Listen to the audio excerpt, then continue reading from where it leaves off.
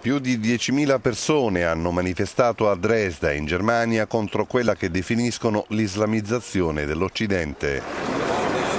Promossa da movimenti di estrema destra, la manifestazione è stata confermata in extremis, nonostante i numerosi appelli di quanti avevano chiesto di sospenderla.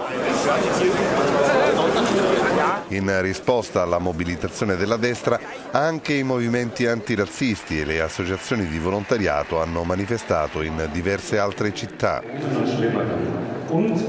A Monaco di Baviera, a cui si riferiscono le immagini, 20.000 persone hanno attraversato in corteo il centro della città. Tra i cartelli, molti quelli esposti in segno di solidarietà con le vittime francesi e quelli inneggianti ad una società multietnica e al rifiuto della violenza.